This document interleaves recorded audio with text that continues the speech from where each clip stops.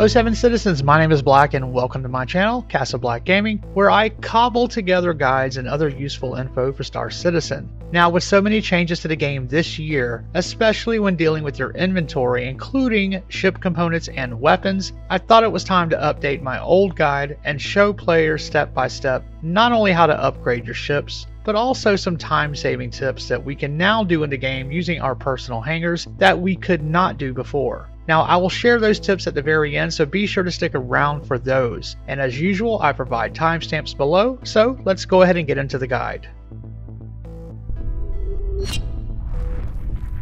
So the first step and thing to know about upgrading your ship or ships is that the ship you want to upgrade and the component or components needed must all be at the same location. Now, what does that mean? You, your ship, and those components must be together at the same exact location, which means the same exact landing zone or station. Now for this first step, I will just use my starting zone, which is Area 18 on ArcCorp, where I chose my personal hangar to reside. Once there, you simply go to the spaceport and go to your hangar. Once inside, you head over to your ship terminal and you make sure that the ship that you want to upgrade can be delivered and you will simply interact with the terminal and push deliver and then request delivery. Now for this example, I am having my cutter delivered. This action basically brings your ship to that location but does not yet call it out for you to board it. It just makes it available at that location, which is what we want before moving on to the next step. So do not go in and actually push the retrieve button just yet. Now the second step in this process is to actually go into your Moby mobiGlas by pressing F1 then down at the bottom you will see several icons and you want that last one on the bottom right that says vehicles. Press that icon. Then in the upper right hand corner it says to select ship. Press this and a drop down comes down which will show you a list of all of your ships. Any ship that you have not completed step 1 for, where you deliver the ship via the ship terminal, will have a lock next to it, meaning you cannot edit those components. Now for this example, I will select the cutter that I delivered from step 1. Now it might take a second to load, but once it does, you will see a list of items on the left hand side that you can change on this ship if it has those options available. You can change the color or design of your ships in the liveries tab, or the systems tab will allow you to change out the ship components, which are the coolers, power plants, quantum drive, or shields. The last tab is the Vehicles tab where you can change out your ship guns, missile racks, and missiles, which is pretty self-explanatory. Now for industrial vehicles, such as the mining, towing, or salvage vehicles, you will also have the Utility tab where you can swap mining or salvage heads and maybe one day towing heads for those tugboat style vehicles.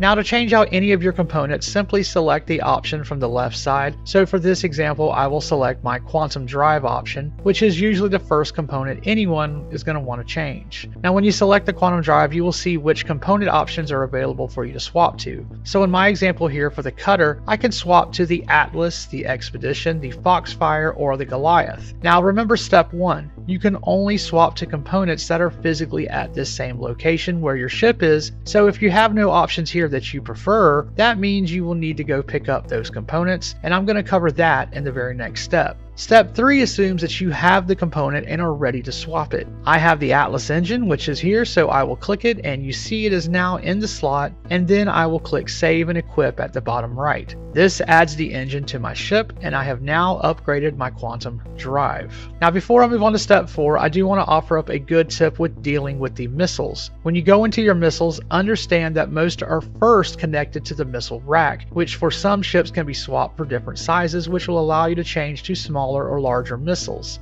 For example, if you have the Cutlass Blue as I do here, which comes standard with 24 size 2 missiles, and let's say you wanted to change the size of your missile rack to support size 3 missiles, you could swap your missile rack from the MSD 442 that comes stock with the MSD 423 and you could then put two size 3 missiles instead of four size 2s, which is less, but the size 3 missiles do more damage per hit. You could also swap to a size 1 missile rack and get 8 size 1 missiles, which is a lot more, but less damage per hit. The important thing to note here is that when changing missiles, you must first remove every single missile from the vehicle manager menu here under the specific missile rack before the new ones are going to show up and allow you to be added for that rack. I've had a lot of questions with people asking why they can't see or add the missiles that they know they bought, even though they know they're at that location, and that is the reason why. You must first remove all of those specific missiles first. Now, on to step 4.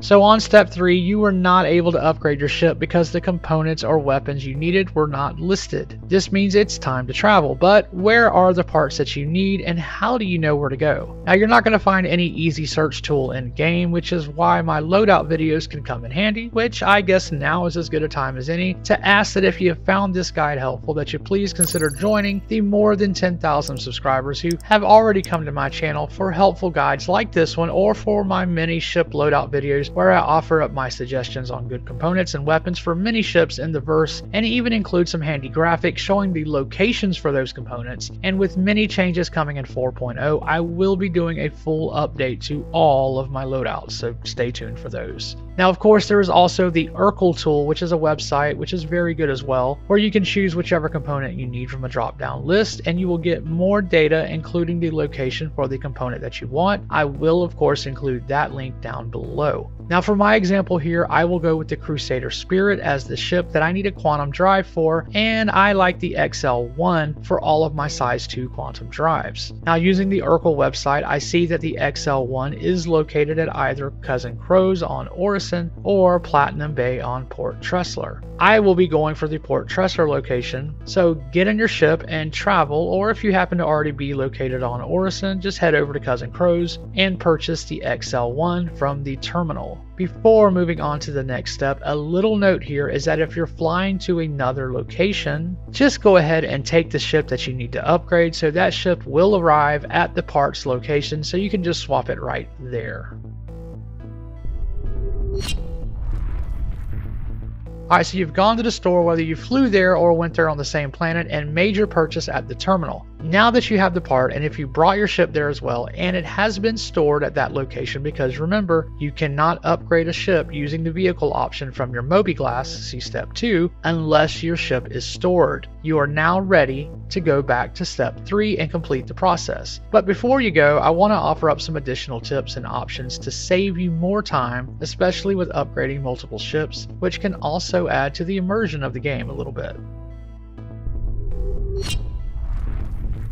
So with freight elevators and personal hangars in the game as of 324, you can now purchase multiple components and take them back to your personal hangar. So you can just swap all of your components from the convenience of your own hangout. Now I did this, I bought multiple Atlas engines because I have at least 5 or 6 ships that all use that size 1 engine. I brought them up on my freight elevator, loaded them onto my ship, flew my ship back to my personal hangar on Area 18, unloaded them onto my own freight elevator, and stored them in my warehouse there. You can also store some around your hangar, giving off a mechanic's look and feel to your hangar if you so desire, adding a little bit more immersion.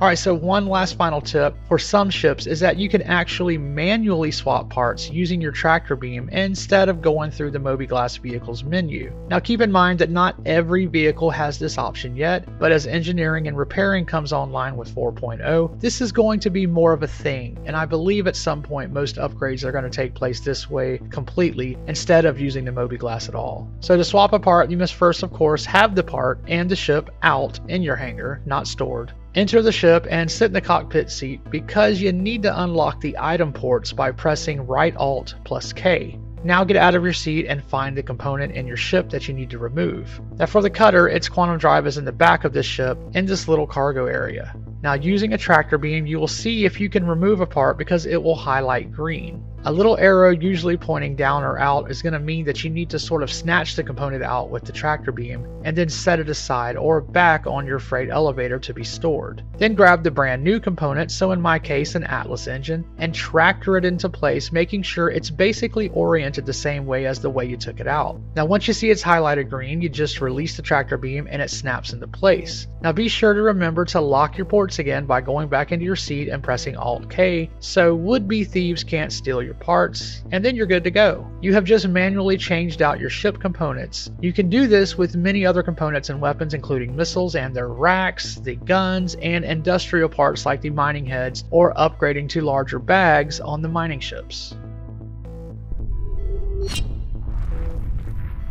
Okay, so that's it for this ship upgrading guide. Hopefully this answered all of your questions. Now, if you do have any more, feel free to join my Discord where me and others are there to answer any questions that you have, no matter how small you might think they are. I'd also like to hear your comments below. Let me know if you're more of a hands-on mechanic or if you prefer the automated approach. Now one other thing I did not mention as a tip is that you could technically offer up your services to other players by either delivering an engine to them and installing it or just selling it to them, so let me know if you've taken that route as well and made some money off some folks. Anyway, I've been Black and thank you for watching and keep it positive out there as you make your way through the verse.